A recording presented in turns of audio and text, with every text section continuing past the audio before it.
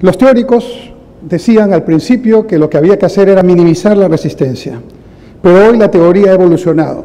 Hoy día hay que utilizar la resistencia como un acícate, como un elemento para convertir esa resistencia en una oportunidad, en un desafío. Y creo que lo que tenemos que hacer los peruanos para poner en marcha muchos de los temas que se han planteado aquí es convertir estas circunstancias de resistencia natural, humana y social en oportunidades fundamentales para avanzar y para avanzar más rápido.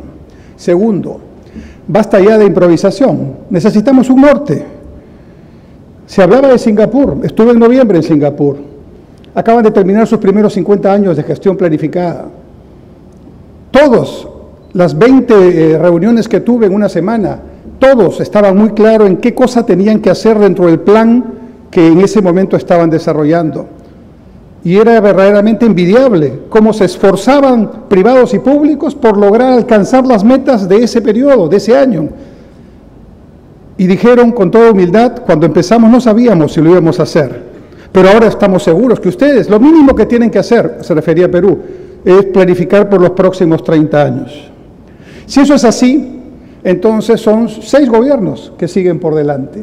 Y afuera estamos discutiendo temas de agenda absolutamente innecesarios, adjetivos, tachas, normas, y estos temas que son los importantes, y felicitaciones a los organizadores, se ven en círculos más pequeños.